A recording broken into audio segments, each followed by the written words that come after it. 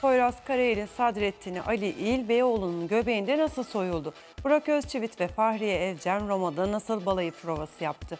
Aşk var mı yok mu? Zuhal Olcay'la Mazlum Çimen'in fotoğrafı kafaları fena karıştırdı. Sırada hızlı ve keyifli bir haber turu var. Poyraz Karayel'in Sadrettin'i Ali İl Beyoğlu'nda soyuldu. Bu fotoğraf aşk iddiasını güçlendirdi.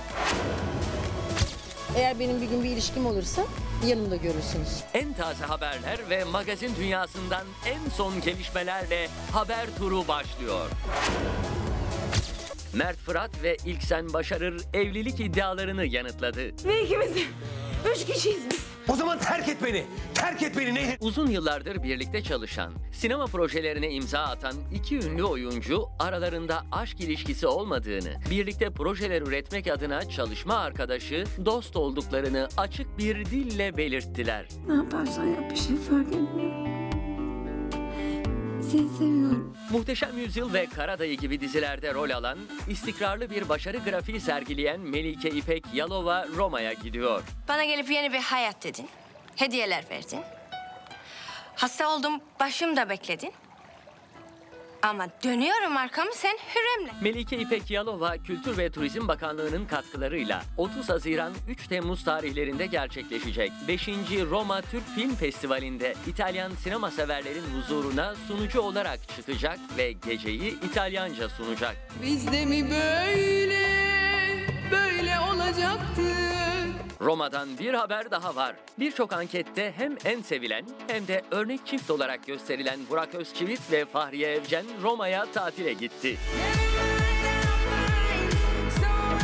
İlişkileri evlilik yolunda adım adım ilerleyen iki ünlü oyuncu Roma'da resmen balayı provası yaptı. Sevgilim saçlarını Bu fotoğraf kafaları karıştırdı. Zuhal Olcay ve eski balet Mazlum Çimen'in aralarında aşk yaşandığına dair çıkan iddiaları iki ay önce Zuhal Olcay bir röportajında kabul etmemişti. Eğer benim bir gün bir ilişkim olursa yanımda görürsünüz.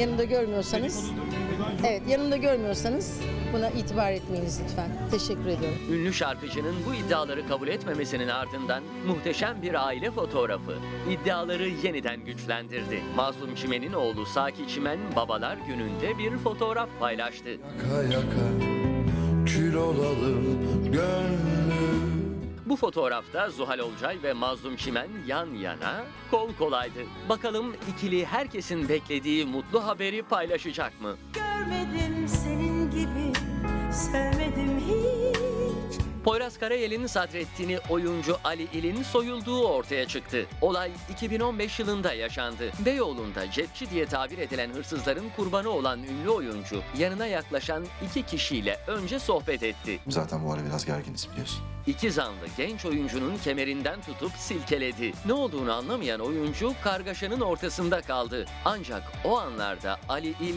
200 lirasının ve cüzdanının çalındığını fark etmedi. Hırsızları güven timleri yakaladı. Asliye Ceza Mahkemesi'nde açılan dava halen devam ediyor. Yalnız hatırladığım kadarıyla çok güzel bir geceydi. Bence de.